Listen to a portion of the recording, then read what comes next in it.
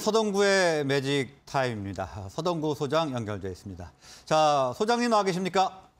네네, 안녕하십니까? 네, 안녕하십니까? 자, 오늘 강보합수로 출발을 하고 있는데요. 오늘 키워드 어떤 거 준비하셨습니까?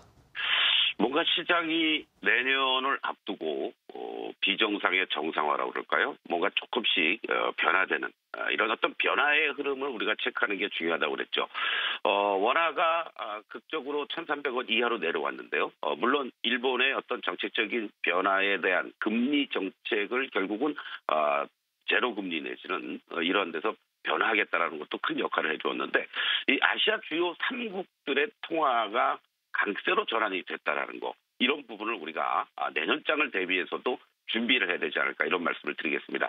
아까 말씀드린 것처럼 원화가 1,300원 이하, 1,200원대 이제 놓여져 있는 흐름이고요. 어, 제가 여러분들께 강조해드렸던 1,315원에서부터 1,320원만 아, 돌파되지 않는다면 아, 시장은 우호적인 그런 흐름을 나올 수 있다.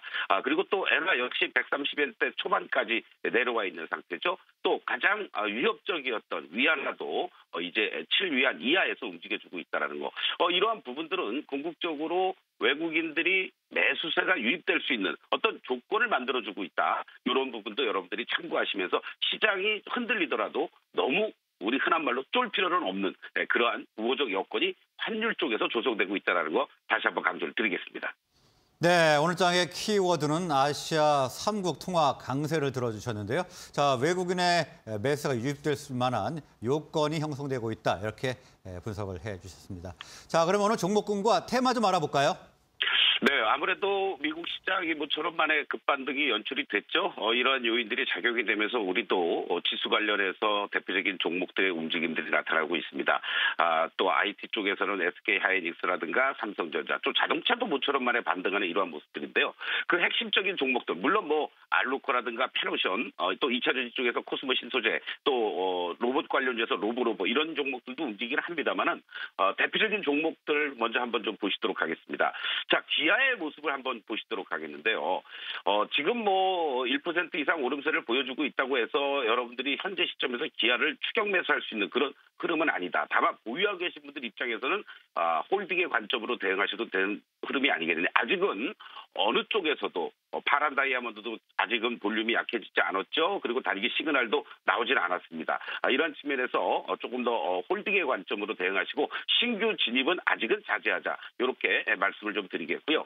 어, 그리고 또 SK 하이닉스의 모습도 한번 보시겠습니다. 여전히 하락 추세 구간에 놓여져 있는 것을 우리가 아, 확인할 수가 있고요. 다만 어, 하이닉스 역시 변동성이 크게 연출되고 있습니다만 어떤 저점에 대한 지지력은 보여주려는 모습들 아, 그리고 어, 무엇보다도 파란 아, 매도 블록이 약해지고 있다라는 거 이런 측면에서 본다라면 어, 현재 시점보다는 한 템포 늦췄다가 아, 단기적으로라도 매수할 수 있는 타이밍이 나올 수 있지 않겠느냐 이런 관점에서 대형주들의 오름세가 연출된다고 하더라도 여러분들이 이쪽을 추격 매수하거나 쫓아가는 그런 매매 전략은 아, 자제하는 게 좋겠다라고 말씀을 좀 드리겠습니다.